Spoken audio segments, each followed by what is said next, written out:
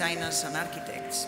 19 years ago, I was living with my family in the south of France, and my husband was called to, to make an assessment of the situation of the villa in Roquebrune. I went with him, and I was uh, first uh, full of admiration of the site and also the concept of the villa, but at the same time shock of the situation of the abandon that afterwards perhaps uh, one of the, or all of the participants here can talk about the reason. Um, I went again uh, last year, and I have the pleasure and the, the privilege to be guided by Elisabeth Emina, who is here, um, and the change has been extraordinary. In the same trip, I was invited to visit the, the museum in Monaco, and it was the exhibition of Kasper Akhøj. Uh, it was just the cherry of the cake because it was absolutely um, exhilarating. I was haunted by his images that afterwards you will have the, the occasion to visit it here. And I decided when I came back to talk with the Ivorypress team and uh, contact the artists and organize this exhibition. This is the story and why we have here Kasper and his work. Um, we have here with us, you have all of you, the CV, a very short CV of each of the participants, so I, am not going to go through it. Um, we have one hour, so we have to take advantage of it. I only would say, welcome to four of you and Kasper, the first. Why, how, and what is your assessment of the work that you have done through the years in the villa? Why? I think, I think um, the first time I visited uh, E1027, as the villa is called, uh, was a little after you uh, went. Um, it's about 15 years ago. And I, I wasn't invited. I jumped the fence, uh, like many other people before and after me, um, because it was closed at the time. It was uh, sort of semi-abandoned. Um, and in a way, I didn't know much about it at this point. Um, of course, about I, the villa or about Eileen Gray? Of course, I knew about Eileen Gray and about the villa, but um, it was early on in the relationship for me, for my part. And the interest came out of, in a way, uh, actually an interest in another early modern house um, in the other side of the world, in Los Angeles, which was built by um, Rudolf Schindler for himself and his wife and another couple. Um, so, in a way, a similar story of the first house of an architect for him, herself, um, and a sort of similarly radical, around a similarly radical idea. And um, I think what what happened there was that this house had just gone through restoration, and I was very interested in what that restoration had come to present at the end of the day when you came and, uh, and visited. And I, I had sort of gotten to know that E1027 was going to be restored, but how and by whom was unclear at that point. Um, but this fact that this was going to happen was what made me start even thinking about doing something there. And then I actually became, let's say, I think I've, I found out, in fact, that there had already been um, drawn up a plan of how to go about this. And for some reason, this plan was um, did not go through. Yeah. Uh, one person who um, is linked to the, to the to the story and the life story of uh, Ellen Gray is uh, Elisabeth, who is a historian, and if uh, you go there, perhaps you have the luck to have her there to explain you every corner of the villa. um, I would like that give us a frame, a frame of the history of the villa and mainly Okay. of Ellen Gray. Why she went, she went there? Why had a relationship with your family? What was the relationship with the owner of the site that afterwards sold or lent the site to the Corbusier? Uh, I'm so happy to see you again, uh, Elena and Kasper. Um, uh, I would like just to explain you the history about me and about the Villa E1027 because it's so important per this period in modern art. Um, I started to work in um, Roquebrune-Cap-Martin 20 years ago. Uh, because I work for the, the commune of Roquebrune-Cap-Martin, the municipality, and the tourism office, and I start to guide in the same period uh, to create different tours in, uh, in the Villa 1027 and on the Cabanon Corbusier. But the Villa 1027 we opened just sometimes because uh, it was in very bad condition, and we open for artists, photographers. When, Sometimes. when I went there, it was full of graffiti. Ouais. It was all destroyed, all Wow. without any kind. It was like a kind of catacombas. no? Voilà, it was impossible to, see. was so dangerous to visit the very villa, dangerous. very dangerous for a group. Donc we open just sometimes. But we open every week the Cabanon Le Corbusier, les unités de camping. Donc, uh, um, for 16 years, I work uh, for the municipality of Roquebrune, and then um, the mayor in Roquebrune um, would like to uh, to give the the project the project to the restoration, of course, at an, another organism, an association called Cap Moderne. And for this reason, I change my. I don't change my job because I made Yeah, the same what thing. was your link Ouais. with Alan Gray? Ouais, ouais. Alors, I, uh, my link is so um, hard with, is so, I have a passion about this place because my um, family had the piece of land uh, where today you can visit all. Uh, and my great grandmother worked in the villa E1027. And when I was child, I heard every every lunch, every dinner, uh, the people told me the history about Badovici. Mm. Uh, my grandmother know Ellen Gray, but uh, mm, Badovici was the owner in this house, and Badovici came back every every summer until 1956. Well, Badovici was an architect. Uh, Badovici was an architect and director for a magazine called Architecture Vivante. Uh, I think that you know the history about Ellen Gray. Ellen Gray born in Ireland and she lived all the time in Paris from 1907 until 1976. She was so old when she died in Paris, 98 years old. Ellen Gray drew with Badovici this house close to the sea, close to the beach, between Monte Carlo and Menton. Uh, when you arrive in this place, it's so magical. Uh, you have nothing around, just the, the, the sea view. uh, um, and uh, it's a secret place because you have to walk. Uh, you have a path, uh, so long. Um, but the, the, the piece of land, the landscape is not, is not so big. The house is just 120 square meters with two ground floor. Uh, one access, one floor is for everybody. Downstairs it is for guests. Uh, and around you have a garden, but the garden it's uh, is not flat. You have different terraces uh, along. Um, after Badovici, Badovici died in, 50, in 56. He don't have child. He had, he had just uh, one uh, sister in Romania, and she was unknown.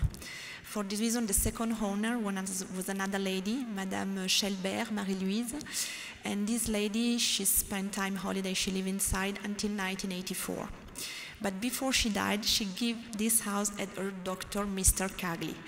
Kaegi lived, used this house for holiday uh, until 1996. Before, in 1992, this man he organized a big action sale with the original furniture by Ellen Gray. For this reason, inside today you don't have the original removed furniture.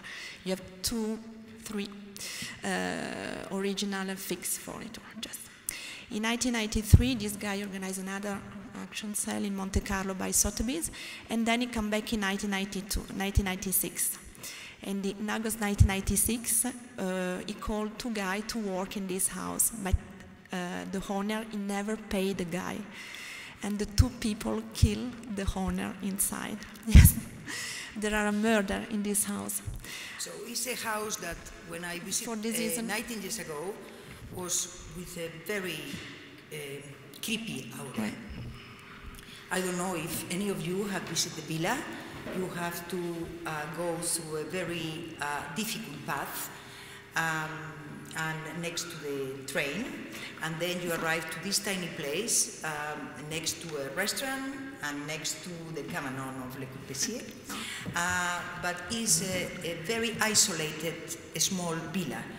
Um, and uh, it was abandoned and uh, full of very difficult and dramatic uh, history. So to uh, clean away this dramatic history um, is happening in the last five years, and it will be open in 1920. So, but now can be visited until October and then from April on. But before we enter in more, I would like to give the, the history and also the, the relationship with Ellen Gray to uh, Marta. Uh, Marta, what is the role of Ellen Gray in the history of the woman uh, as a designer and also as an architect? That's a big question. Well, Marta, Marta, uh, you can read in the in the in the bio that all of you know is the is an architect, is the maker and the director and the real handle and manage the uh, one of the greatest uh, school of architecture in Spain, which is the School of Architecture of the Instituto de Empresa in Segovia, a part of being the secretary of the Pritzker Prize and, and uh, much more. Thank you. I, I, I think that, um, you know, to say, to tell the whole history of something is, is certainly impossible because it's always being reevaluated. If I had to pull out some very important things that, that I think about Eileen Gray, um, some are very particular to her. Um, it's a woman uh, who is not living in her home country and, and therefore somehow seems to be seeking that freedom of getting away, going to France, where there is a milieu where she can somehow feel better. Um, I think that has to do with the fact that she is a woman. Maybe it has to do with her history in, in Ireland or what the society was like there. It also has to do uh, with the fact of her um, bisexuality, that I think she needed a place where she could feel freer to develop herself.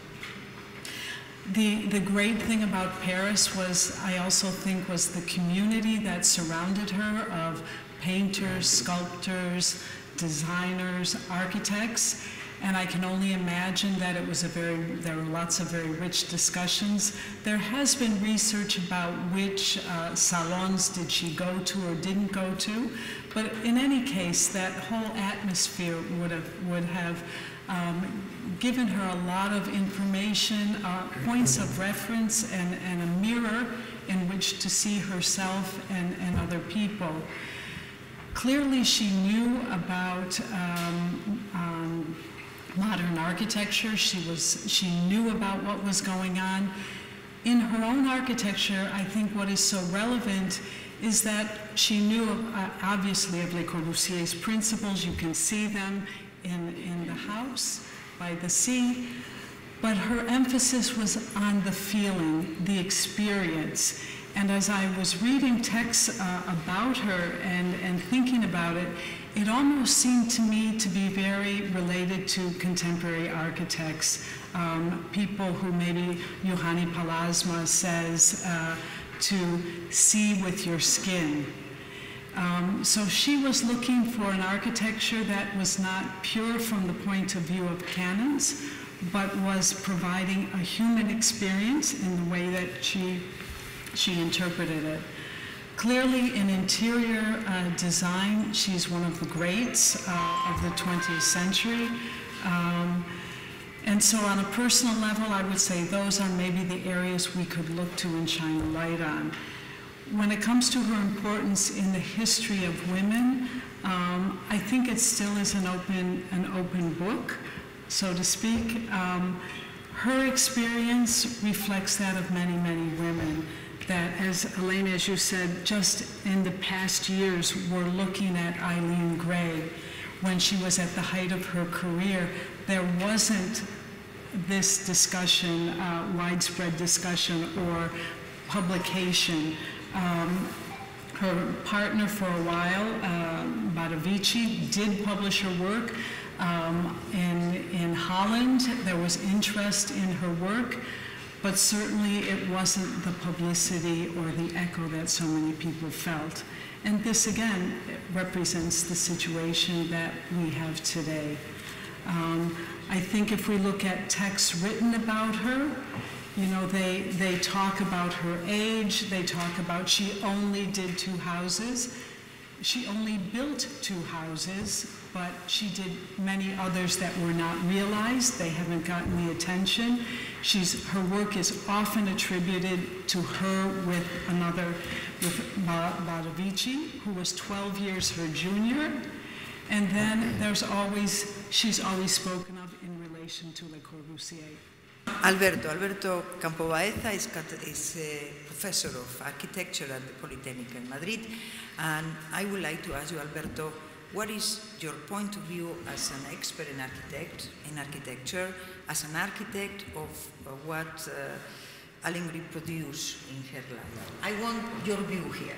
Yeah, here, the piece is uh, wonderful. It's a key piece in the history of the architecture. is the queen of modernism, as I hear Uh, from some... I think it's a key piece, no more. Eh? Because on the one hand, I admire the patience by Kasper taking pictures about how the lady uh, is like if a lady in the morning, before to go to the shower, to take a shower, she's uh, and he's taking pictures that are very interesting, but mm, very dangerous pieces. They're very dangerous uh, pictures. You know? Mm, when I was quoting Carmen Espegel, is because she wrote this book that I, I gave you, and she's making an, an uh, uh, analysis of the piece very deep and very sharp. Um, for example, she said that uh, the, this house is a house with an skeleton more or less symmetric, with a collage of uh, pieces. It's a, a, mix between collage and classical Orthodox uh, scheme. Mm? And I think he's very, very precise, and I, I like a lot her uh, analysis. How do you see the, the role of uh, Eileen Gray in the history of architecture? Yeah, for me, uh, I told you before that for me is uh, mysterious in the same way that I, I, I, I have two questions, many questions, but two questions. One, why Kasper decided to take these collections pictures? And the other question before Kasper is why Le Corbusier decided it's not easy for a master and very exigent and very mm, mm, uh, like Le Corbusier, decided to spend a lot of time living in this house, living and painting. You said seven, seven paintings on the walls. It is, uh, uh, I, I use this expression, he, maybe Le Corbusier, felt in love with this house. I would like to sign this house. Well, he was, I he would was like the to neighbor. say this house is by me. He was the neighbor, and also when uh, he painted uh, in the house was an intrusion in the house when she was not there. Yeah, she was very upset. They, they don't So- know, maybe you don't know, but I, I discovered with, with studying about this, because this occasion, I didn't know that Aileen, Eileen Gray was upset with this intervention by Le Corbusier, and she was, oh, why he's uh, trying to, to uh, remove my pure peace. huh?" So, uh, Yeah, sorry. I would ju- just to explain because I think that you you never visit the house. The house, the decoration is like a ship. Everything is white. Okay. Ellen Gray, uh, she never come back in this house uh, after 1931-32. We, we don't know exactly because she drew another project clo- close to Menton, uh, La Villa Tempe à Pailla. Okay, donc she never come back. The owner was Badovici, don't forget. Badovici uh, knows so well Le Corbusier and uh, invited Le Corbusier in 1938, five days. And Le Corbusier, he drew two frescoes in five days, okay? Then Le Corbusier come back. He wrote a letter to Ellen Gray and he said, Ellen Gray, ah, your house is so beautiful. I spend time holiday inside.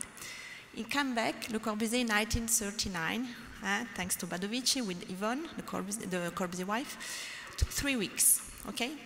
He wrote a letter at Badovici, ah, I would like to spend time holiday inside. I would like to dirty the wall. Je veux salir les murs, in French.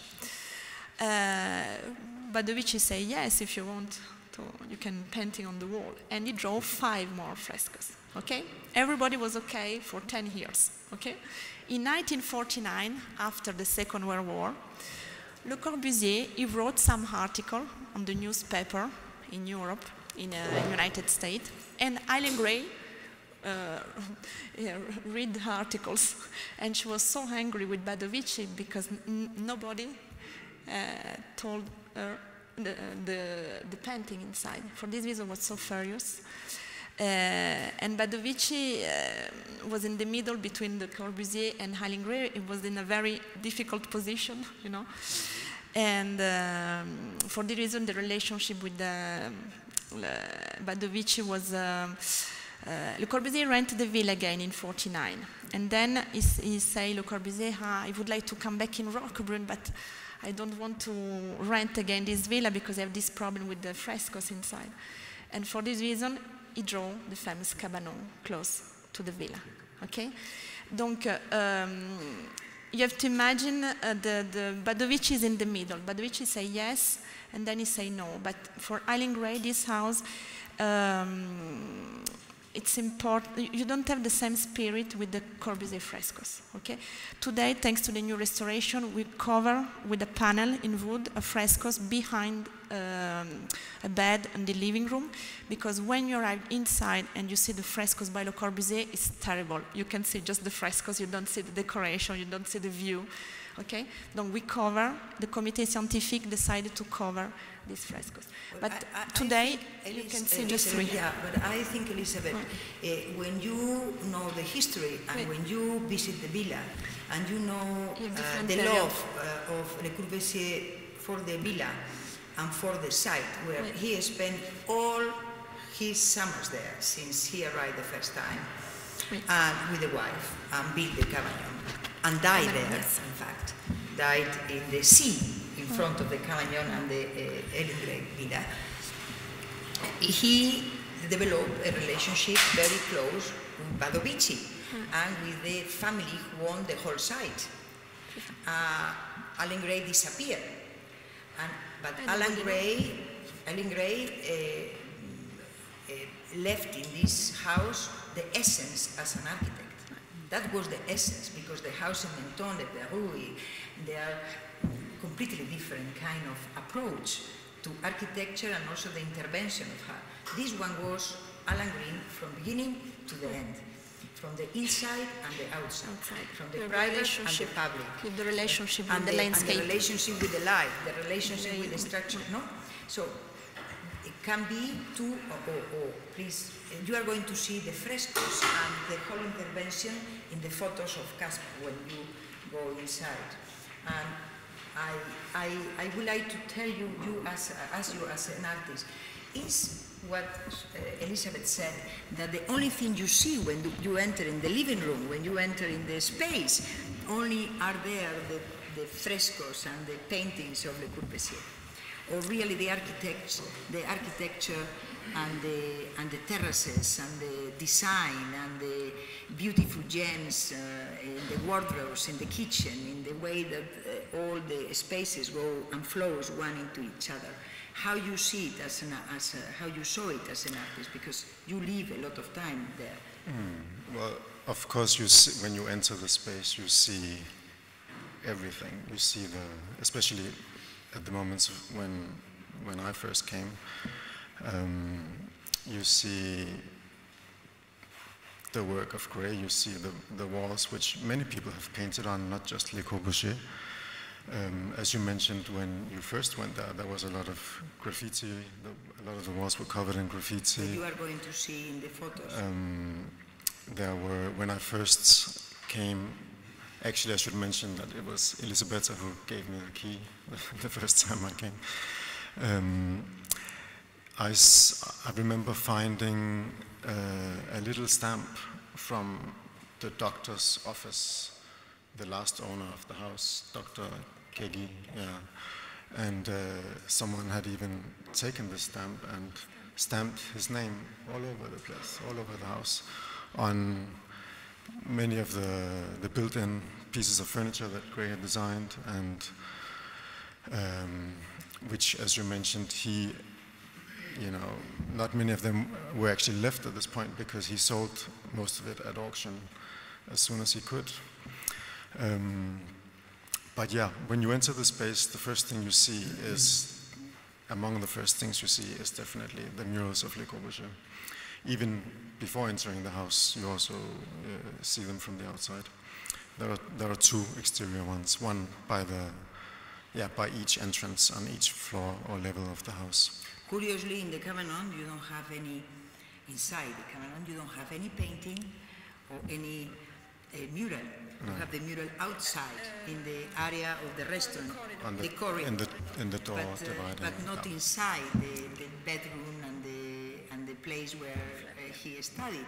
So he put all his effort in leaving his mark uh, in the house of Ellington. Do you think, Marta, that it was, this was uh, an intentional act? You think that uh, was just only uh, to contribute to the beauty of the house?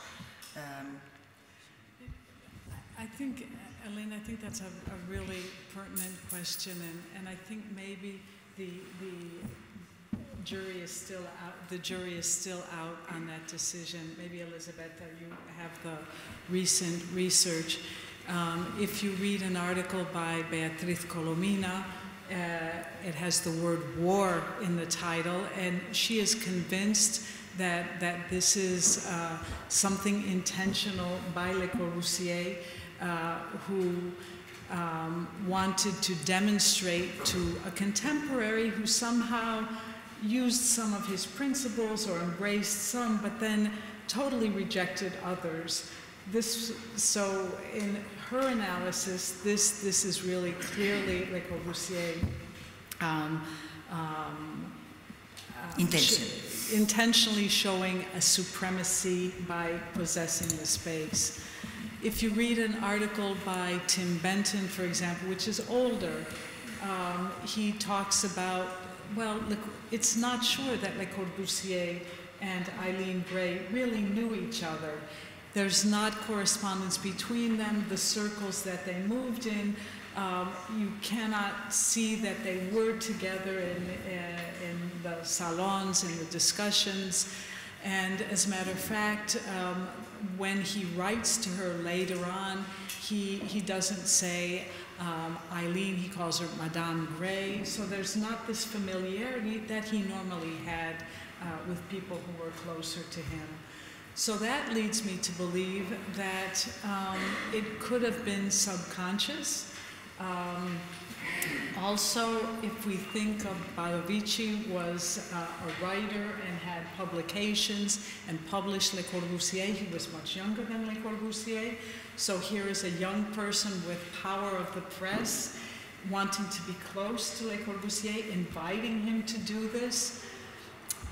You know, living with him in the side the whole summer, yeah, so eating together, drinking together. I, I think all of this, you know, indicates to me that um, we, we, uh, just as we have a lot of work to do to understand the house and restoration, as Kasper's done, in terms of history, um, our history that represents the history of 20th century architecture in a way we all read uh, the same books, we teach this from the same books. We've been doing that for decades, Alberto, decades.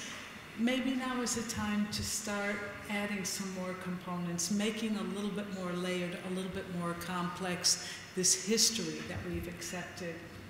And, and I think not only the history of the house, but the restoration. And, and I find that also exciting. Um, and what it, how should it be restored? What are the implications of different approaches to restoration? So. And maybe I should jump in here because this is um, this was very much, I think, the starting point for me for doing this, you know, engaging with this whole project was not exactly to try and answer uh, this question, but um, at least to to look at how do we go about um, a question like this of the question of representation.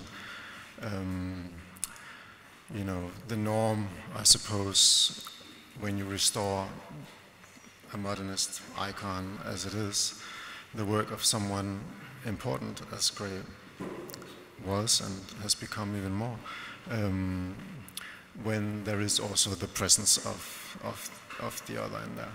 And I think it's a very valid question, and it's still somehow something that um, keeps on being negotiated within the project of the restoration. That's, that somehow was something that I learned from doing this work, that I could, you know, I could see the sort of negotiations going on in, in the minds of the people involved and in the committees that were engaged um, of how to answer these questions. And we should mention that it was not, it has not just been one administration that has been in charge of this work. It has been three or perhaps four uh, and a half.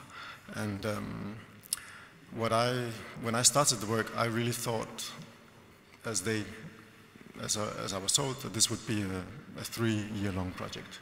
That um, that's how it was projected. Um, but as it turned out, uh, uh, it, it, yeah, it's not yet done really, and um, uh, every time a new administration took over, this administration would step in and sort of erase the steps already taken by the, the former administration. So there was, in a way, this strange sort of um, Hall of Mirrors effect in the photographs that I ended up having taken because um, it really was uh, a question of sort of uh, adding and subtracting layers to this site on an, on an ongoing uh, basis. So what we are going to see here in your series is the history of how you found it mm. and how in the last 15 years the house have changed and uh, it's going to be open in two years time, one year, and a half. So really in the last period that you took the photos. So here we have the possibility to see through all the photos because each one of one for me has a story. Uh, uh, how that project that Eileen Gray that you can find in some of the books that the, like this one and others that we will suggest for you to consult we have the plans of Eileen Gray, we have the original photos of Eileen Gray, and we are going to see how is the last product. It's, it's true, and it's, this is not the panel to talk about. It's a huge controversy about it, but we are not going to enter on that. But, or, if you want, you, we can. But uh, always happen with anything that is restored because to respect the different layers of history is uh, an extraordinary uh, not only difficult for an architect, but also difficult for the different uh, patrons or administration or interest on the, the reality is that the majority of the designs that especially Alan Green did for the house were sold uh, by one of the last owner who didn't respect the, but still, still we have the skeleton and that is what matters. Or do you think in different way? Alberto? Uh, I agree with all your comments. Yeah, I would like to, to think that uh, how Le Corbusier was bad, but not so bad. Mm? And when he is he decided to paint uh, the murals, the walls, I think he was uh, trying to to disturb uh, Eileen Gray he was uh, enjoying a lot uh, maybe you know uh, the most famous picture by Le Corbusier is Le Corbusier naked, painting the walls. And uh, if someone is uh, taking a picture like, like this, is because he's enjoying, he's enjoying painting these, these paintings. And when I was uh, thinking about, because your invitation, uh, some months ago, I went to the Barcelona pavilion by Mies van der Rohe. And I had many pictures of, with this occasion. And one more time, I was thinking, in the same way that the, more, the most abstract uh, architect uh, of the modern movement, like Mies van der Rohe, was uh, using marbles and onyx with uh, drawings like painted walls for the pavilion. The pavilion is the, the most abstract uh, piece. I think maybe something in connection with the paintings by Le Corbusier. Le Corbusier is painting not to, to destroy the piece by, by Eileen Gray, but like the most natural and enjoyable way to to have a, a best uh, piece, mm-hmm. not to disturb. Yeah, but I think it's, it's not so complicated. Yeah, I, I, I would like to come back to talk about Eileen Gray, because if not, we are going to discuss about Le Corbusier. She, she, should be very. Um, yeah. yeah but, but coming back to Eileen Gray, uh, Martha and Elizabeth, uh, what is the profile of um, Eileen Gray as um, architect on hands. Uh, what, how um, was the history of her in the site, how she lived there, how she uh, developed the design with uh, Badovici, uh, what kind of memories, anecdotes, or any kind of um, message you want to give us about Eileen Gray as a as a designer and architect doing this villa, making this villa? I, I think um, probably specifically for the villa, maybe Elizabeth, you can speak more. Again, maybe I can pull out a couple things about Eileen Gray, and maybe they are related to the villa, or they are related to the villa. Um, I think when we look at the type of work she did, she tried to innovate. She tried to innovate with materials, with textiles. Um, when she had her workshop and store, it was most successful, as I understand, when she, she and her partner were there together. Um, I think that, uh, you know, she probably was stronger when maybe someone was taking care of business and maybe she was taking care of the um, taking care of the innovation, the designs, and, and maybe the clients. But the business part seems to be someone else. I think in, in the villa, uh, maybe with uh, Badovici, uh, it's, it's also, uh, we can't say she was the lone author uh, because maybe she did get strength from being with her then partner. And um, clearly, to she, they, she was thinking of a house, I believe, for both of them. And only later, when she does her own house, when their relationship breaks down and she does her own house, it's clearly for her. Um, in this relationship, it seems to me, she was probably, um, she had more experience, although um, she was known more as interiors and furniture. She clearly was more experienced. She had very clear ideas. They were very potent ideas as to what she wanted in the house and how she was to get it. Maybe you could talk about the, the windows, the shutters, because the comfort and what she did there was really quite inventive. But then Badovici was the one who wanted to publish it. So, so my reading, and, and I may be totally incorrect, I would love to hear Elizabeth, Elisabetta's uh, opinion. I think that she was clearly a very strong woman, not in the sense that Alberto says, no. No, I, I think that those are myths that we invent when there are strong women. We have to, we have to imbue them with some sort of uh, angry or aggressive personality, and I think that's nonsense. We don't know. Elizabeth, maybe you know from your research more than I do. But um, I think I, I, would like to hear more about the house because my view is that she was very deep and prof- profound in her ideas, very clear. She took a long time to develop them, but, but had a theory, uh, had a philosophy behind it, but maybe being accompanied by someone in different uh, adventures gave her some sort of strength or comfort. I don't know, do you agree? um, alors, in, you have to imagine when Eileen Gray she, um, she made this house, uh, she had uh, 50 years old. Yeah. Okay. Um, Eileen Gray in this time was a very famous designer, uh, was a very good photographer as well, an artist.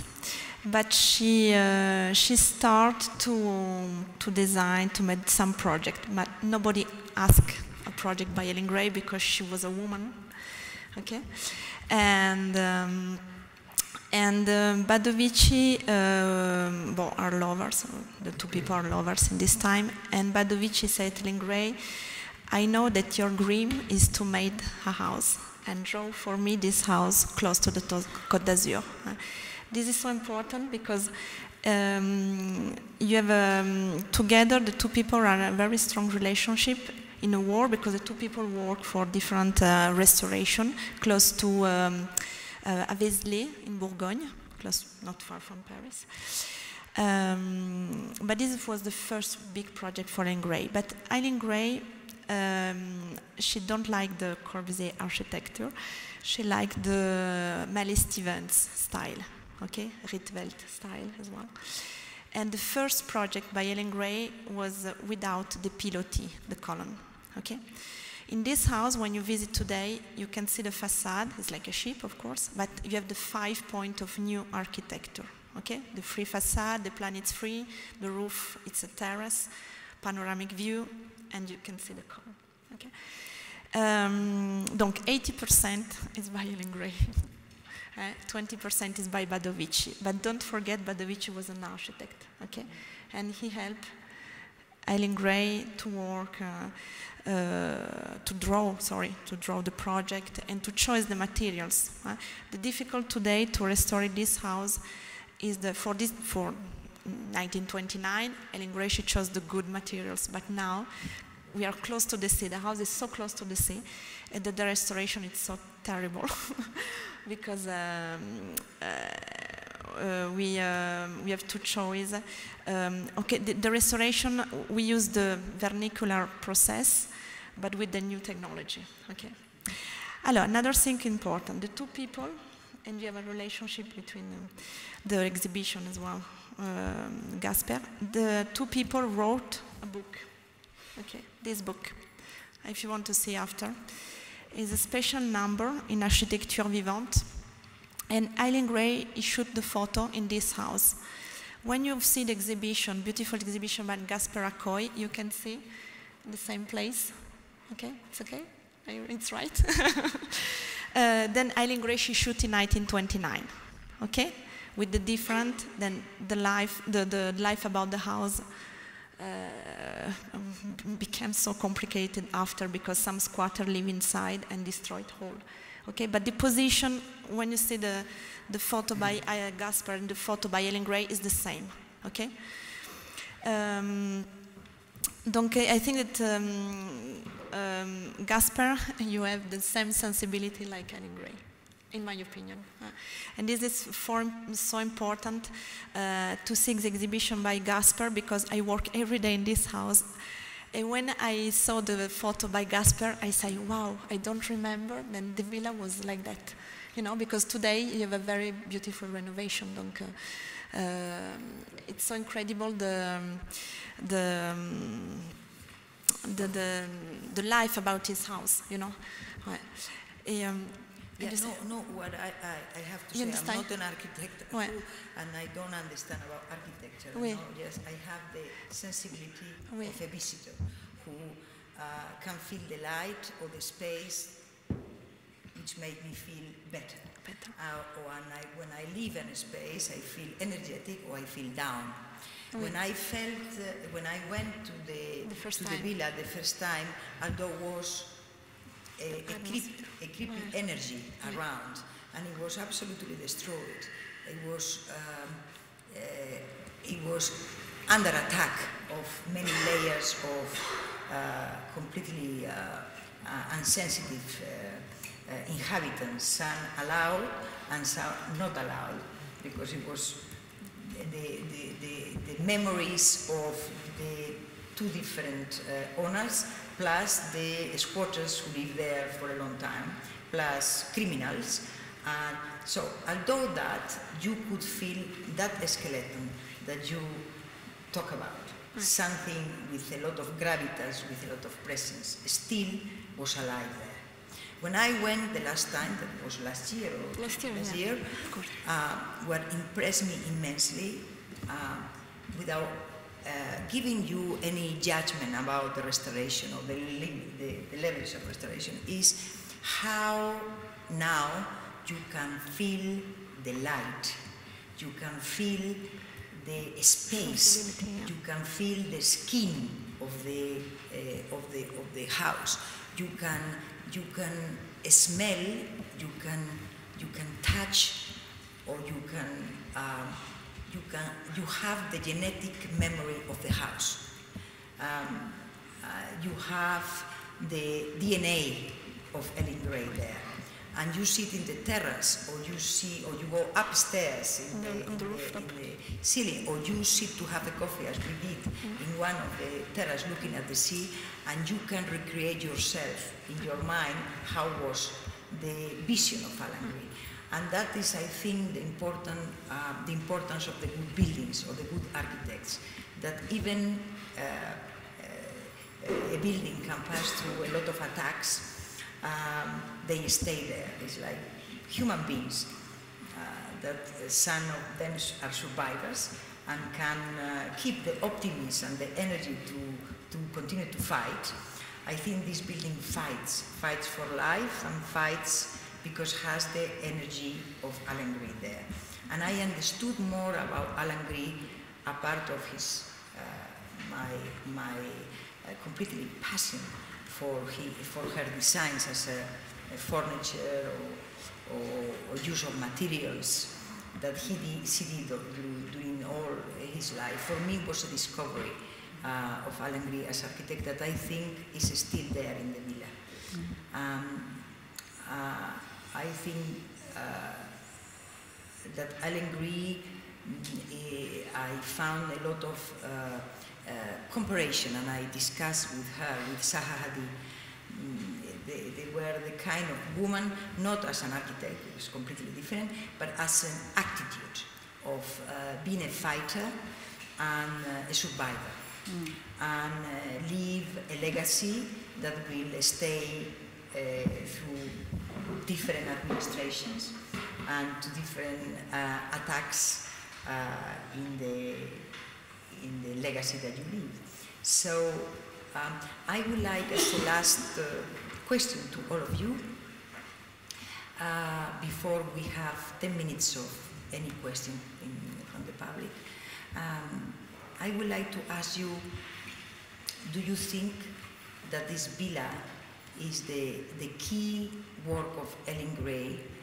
Um, is anybody of, here in the public who decide to make a destination and go there because it's a real destination to go there, uh, um, uh, they will they will get um, uh, a, a, a further knowledge and a deep knowledge about the, uh, the, the personality and the professionality and the sensitiveness and the talent of Eileen Gray.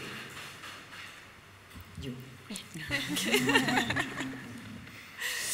Uh, I think uh, that uh, Eileen Gray, when she drew this house, um, well, I, I tell before she was a, she was a dream.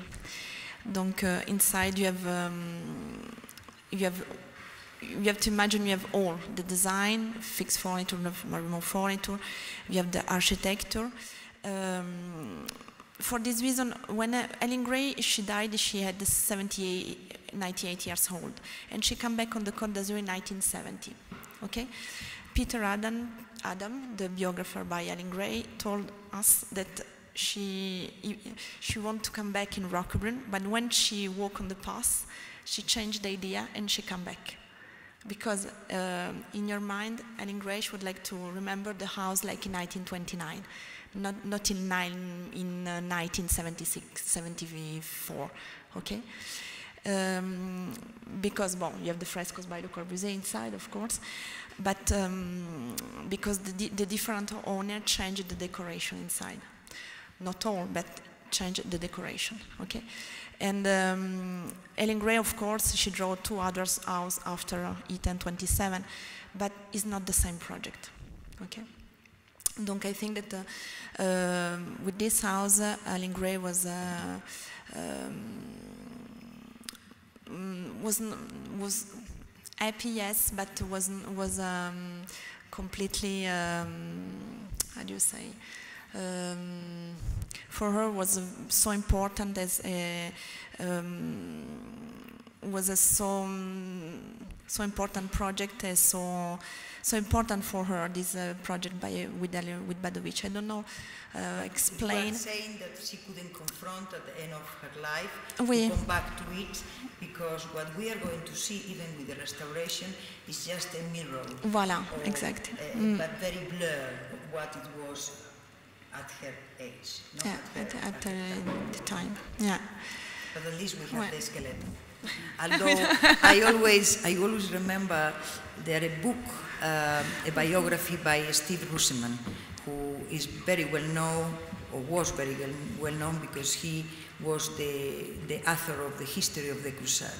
He wrote a biography about his life called the, From A to Zeta, where uh, she relates to the family, to uh, her his work, to his experience, based in places that he visited through all his life, from the A to Z.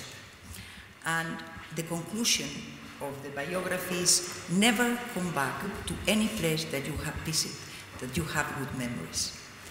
Um, never come back because then your memory from the past will disappear and will be extremely, uh, not only very upsetting, but also will erase uh, part of yourself. -hmm. what is your, your last uh, comment about, uh, uh,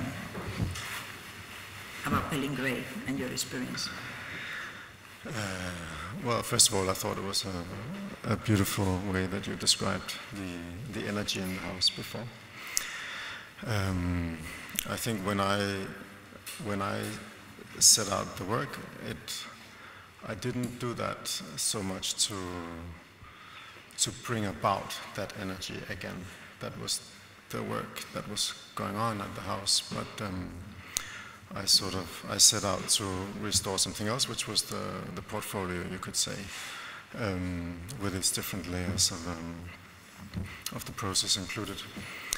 Uh, I've never had the the fortune to visit any of her other um, architectural projects. Um, I think the other house that she built for herself down the coast is privately owned. Um, yeah. Um, but so in terms of your question of whether this was the most important work for her um, and for you and for me. This is obviously the most important for me, but I'm not, you know, what do I know? I haven't We are going to enjoy. It's the first time that will be uh, exhibited in a private uh, gallery. It has been always in museums, so we are very happy and very honored to have the work of Kasper here. Uh, Alberto. Yeah, for me, uh, there are a lot, a lot of questions. Uh, maybe a very central question will be uh, what about the modern wine?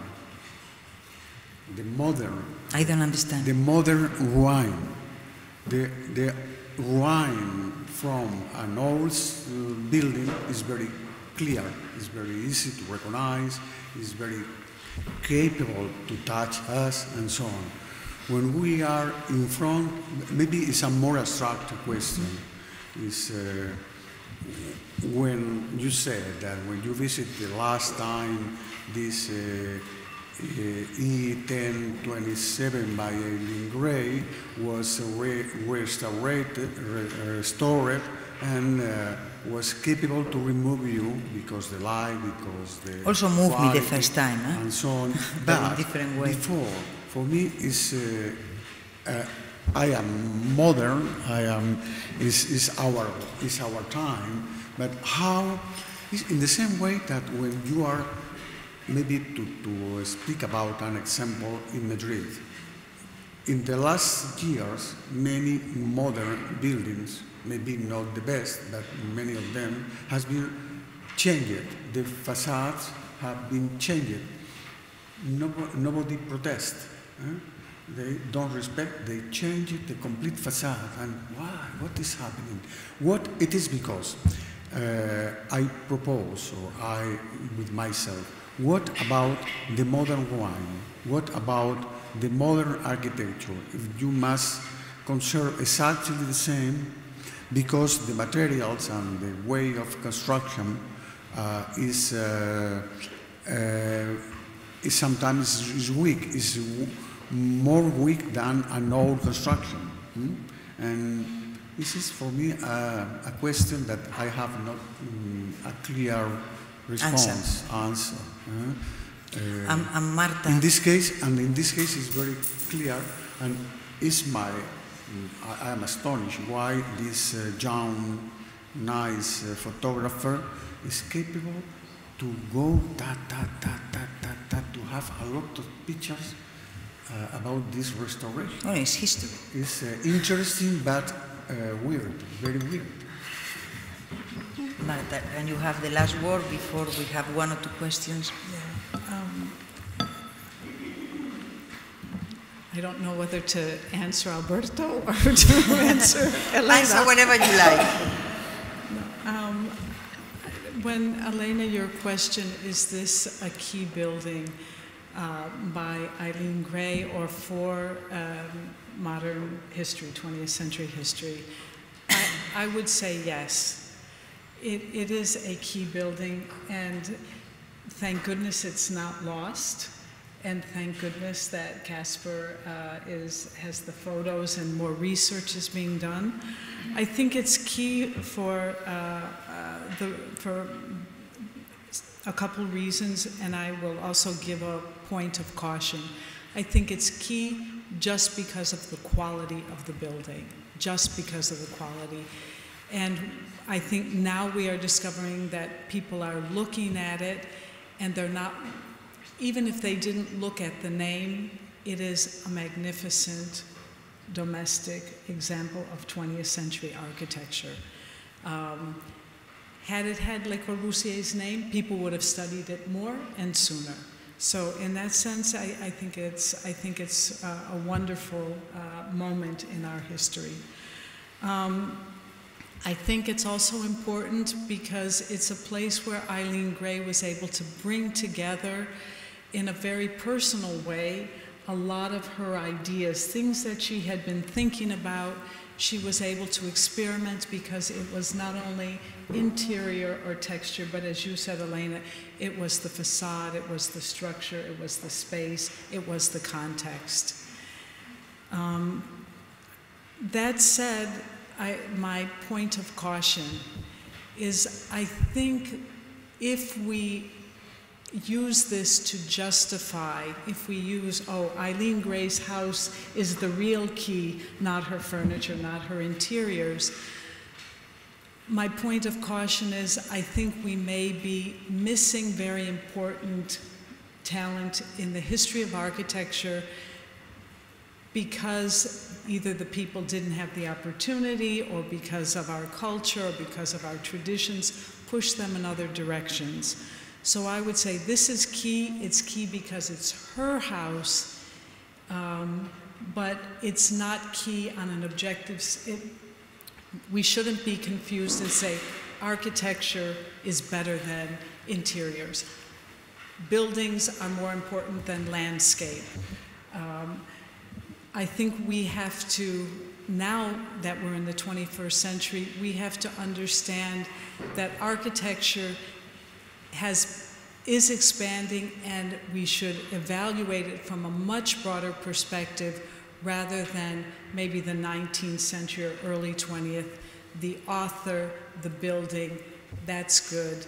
The other activities, the other um, uh, Well, areas. In fact, in fact, Martha, uh, Eileen Gray came to, came to the to the being the cover of Le Monde and another newspaper when his uh, her uh, design of uh, sofa uh, took a prize in the auction in the auction in Sotheby's more than a Picasso several years ago. Um, and when so that was uh, the, a call for many, many, many uh, historians, for many architects, and, and, and for many um, dealers. Uh, and from then, all the prices of uh, Eileen Gray uh, has been rocket. Um, and uh, have been achieved prices which are much more high than even the villa. Uh, so um, we would like to have one or two questions from the public, if there are any, and then to uh, enjoy the exhibition. There are any questions in the public? Yeah, we have two questions, and that's it. We begin from. no, at the end.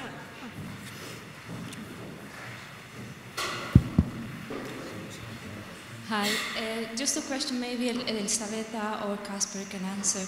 Can you tell us a little bit about uh, what happened with the house during World War II and if there are any marks or traces of that, what is going to happen during the restoration? I, I, uh, I didn't he- hear well from the. Uh, Yeah, the Just slower. So the question was what happened to the house during World War II, Yeah. correct? Yeah. yeah, and if there are any traces of World War II or marks, what is going to happen with the restoration, with the marks uh, for the restoration? Yeah, um, I think my knowledge of that is quite limited. I know from um, historical images that uh, soldiers were using one of Le Corbusier's murals for target practice outside.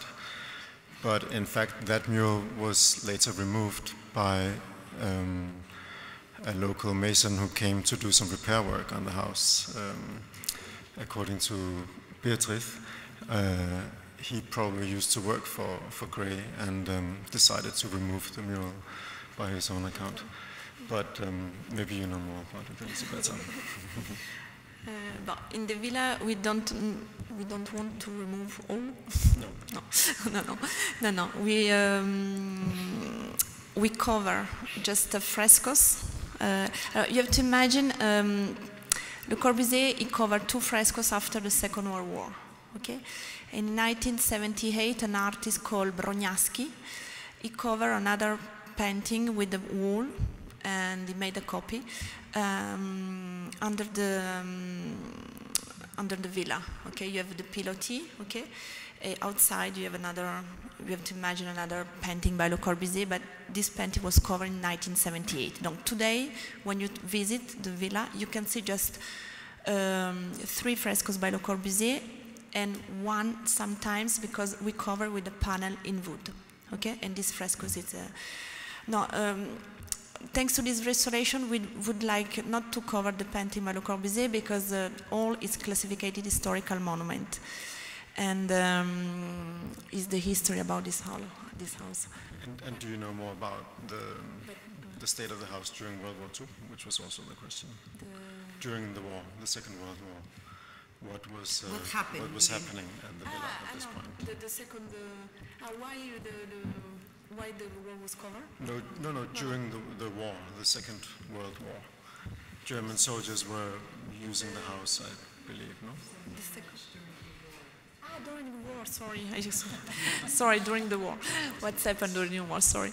Um, during the Second World War, um, the villa. Nobody. Sorry, nobody lived in this house for five years, and uh, the border was between Menton and Roquebrune, and the German soldier crossed the border in 1943. And different, you have to imagine different houses was open um, in this time, and um, by the German soldier, and the German soldier stay in the house E1027 for uh, many days and the painting by Le Corbusier under the pilotis was completely destroyed because the German soldier shot on the wall. Uh, in this uh, painting by Le Corbusier, you have three ladies. Um, it was completely destroyed. Alors, Le Badovici, when he came back after the, the Second World War, he restored the villa inside, and he wrote a letter at Le Corbusier, and he said, Le Corbusier, I'm afraid, but your, your painting and in this wall is completely destroyed. But no, mm, Le Corbusier don't, don't touch the painting from, he don't, he don't cover the painting himself. Um, just uh, covered the, the, wall because uh, Madame Schelbert uh, called this man to restore the villa.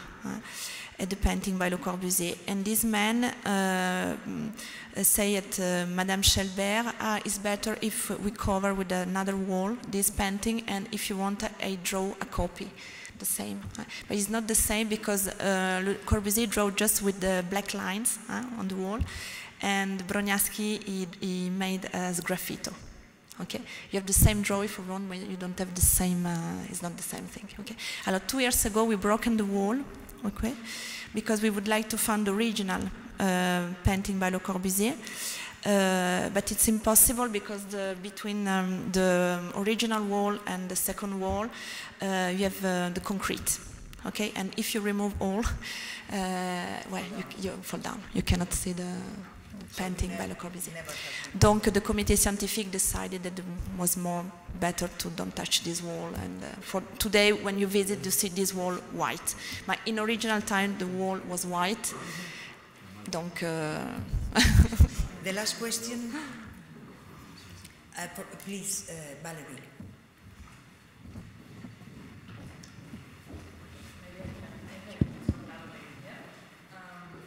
Question is for Kasper. Uh, I was interested in what Elena was saying about what this house was creating you emotionally when you were in there. She was describing very well her emotions when she was there, and I was interested in your emotions as an artist when the first time you went there, and actually why you took these photos and what did the space without the furniture, no? which is pretty different as what Martha was saying. The house was conceived with architecture and with interior design, and when you went there, it was completely different place. So what was kind of catchy for you to, to do all your research work and your artistic work? Yeah, let's say the, um, of course, to begin with, the house was sort of empty of furniture because all of it had been sold.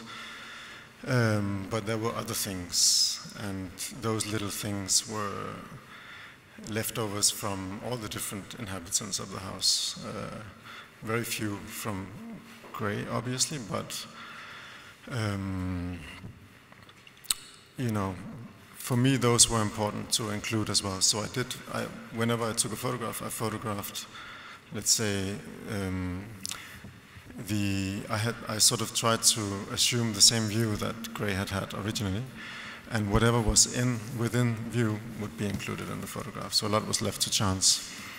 Then later, furniture started appearing um, recreated uh, furniture by, I believe, believe Aram, was sort of um, brought into the house since about three years ago or four, when yeah, yeah, there was a film shot in the house and they brought in furniture to begin with.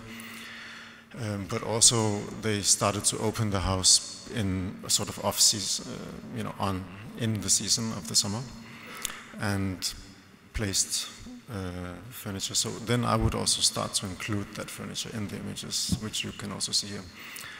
Um, and uh, let's say then when I, you know, I came back probably four times within this period of, of uh, sort of shifting moments, and then the same furniture would disappear again. So then I would take the same photograph without the piece of furniture.